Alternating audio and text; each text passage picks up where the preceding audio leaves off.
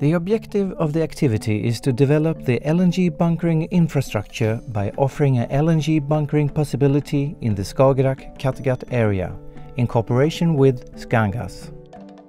Development of bunkering system and procedures for LNG bunkering is also included. In addition to the technical challenges in the project, establishing a financial structure for the project has also been an obstacle to overcome. Building a vessel equipped for LNG operation is substantially more expensive than building a conventional tanker. Due to high standard demand, a European yard has been contracted and the vessel will be built by Royal Bodewes. The makers list also includes well-established European manufacturers known for high quality and reliability.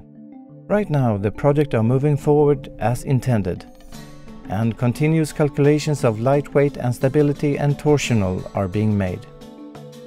The next step of the process is to establish the site team at the yard and continuous engineering and construction.